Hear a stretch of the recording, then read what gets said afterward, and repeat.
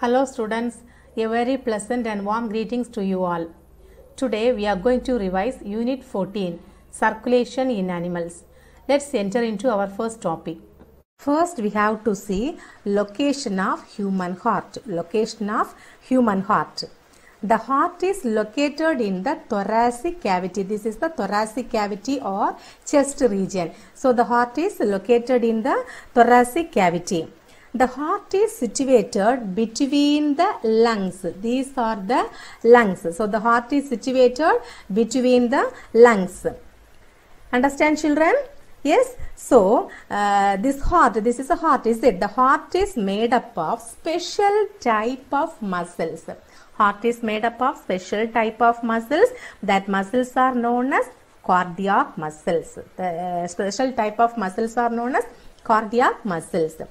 The heart is slightly tilted towards the left side. So the heart is slightly tilted towards the left side. Tilted means a sloping position. Is it? Towards the left side and above the diaphragm. This is the diaphragm. Is it? So above the diaphragm heart is present. Okay. So, so heart is slightly tilted in the left side as well as above the diaphragm the heart is present. The heart is a pumping organ as we all know, is it? Heart is a pumping organ. It pumps out blood into the blood vessels. So through the blood vessels, the heart pumps blood. Okay children, now you see in this diagram, the heart is covered with a double walled sac. So this is the outer covering or layer or sac.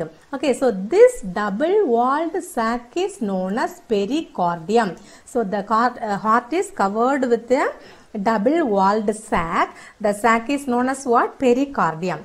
This pericardium contains lubricating fluid. So lubricating fluid is present in the pericardium.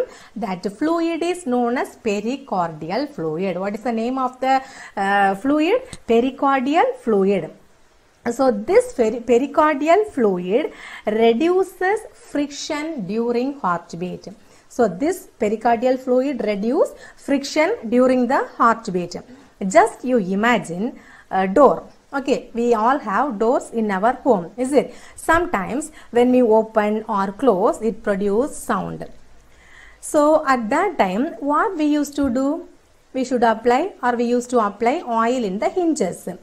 So here that oil is a lubricating fluid and it reduces the friction. Because of that afterwards uh, we won't hear any sound. Is the children like that this pericardial fluid also reduces friction during heartbeat. Then one more function also there that is this pericardial fluid protect the heart from mechanical injuries. What is the meaning of mechanical injuries? That mechanical injuries means for example sometimes unknowingly we may dashed on the wall or somebody has beaten on our chest. Is the children so at that time, this fluid absorbs the shock and protects the heart. Okay, this fluid absorbs the shock and protect our heart. So these are the two functions. What are the two functions? Reduces friction during heartbeat and protect the mechanical injuries okay protect the heart from mechanical injuries so these are the two functions have you all understood Now let's see the structure of human heart. The human heart is four chambered.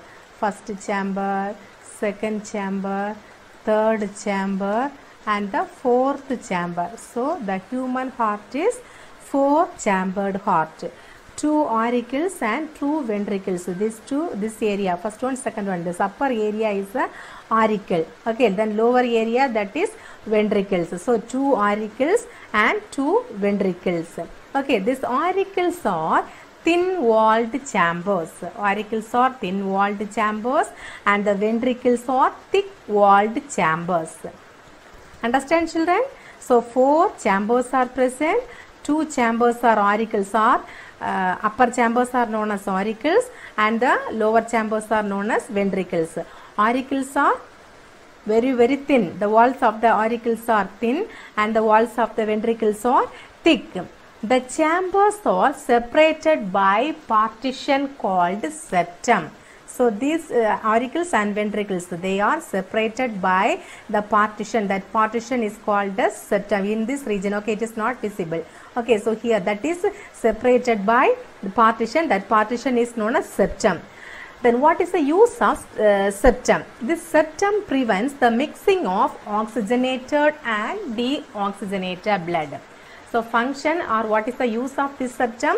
It prevents the mixing of oxygenated and deoxygenated blood. Now uh, the two auricles are present is that, that is the right auricle or right atrium, left auricle or left uh, atrium. Okay, these two auricles are separated from each other by interatrial septum. That is in this area. Okay so that also it is not visible. So these two auricles are separated from each other by interatrial septum the left atrium is smaller than the right atrium. Is it? This is the left atrium. Is it? This is the right atrium. So this left atrium is smaller than the right atrium. By seeing itself, we can find out this uh, left atrium is small and this right atrium is little bit large. Okay, children. Then the two ventricles, ventricles, this area, lower area, is it? The two ventricles are separated from each other by interventricular septum here. So these ventricles are separated uh, from each other by interventricular septum. The ventricles have thick walls. Already I told, is it? The ventricles have thick walls because the ventricles have to pump out blood with the force away from the heart.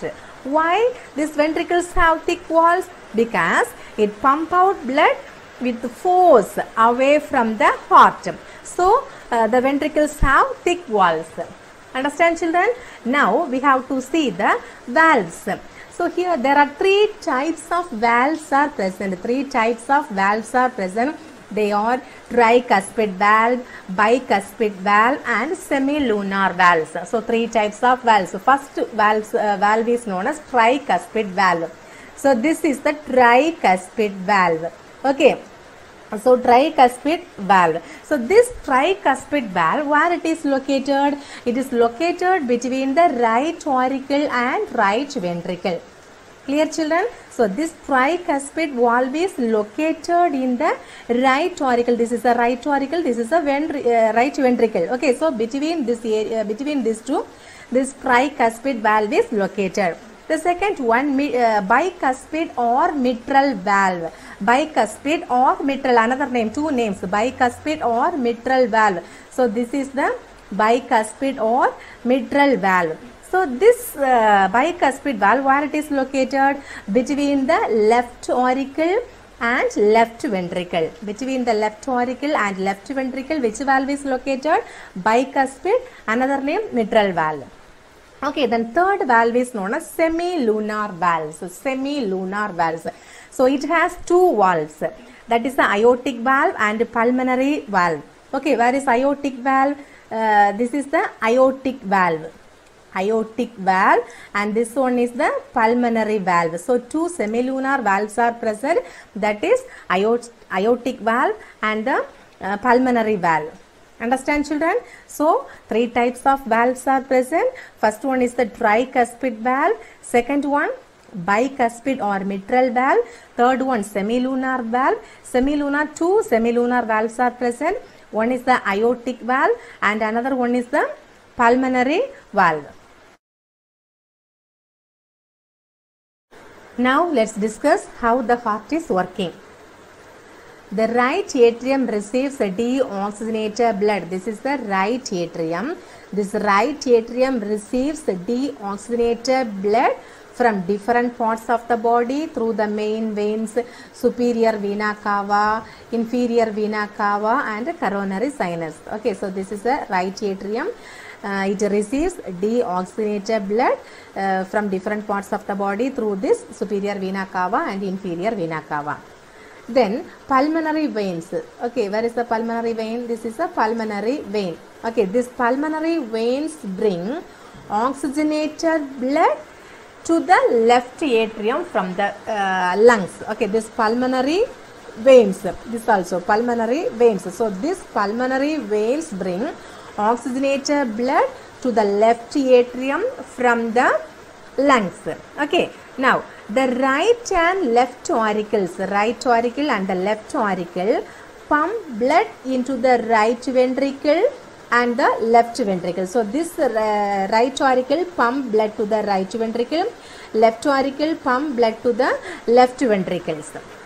Then the right and left pulmonary arteries. So this is the pulmonary artery. So this pulmonary artery um, arise from the pulmonary trunk or pulmonary branch. This region is the pulmonary trunk or pulmonary branch. So this pulmonary arteries arises and it supplies deoxygenated blood to the lungs. Got it children?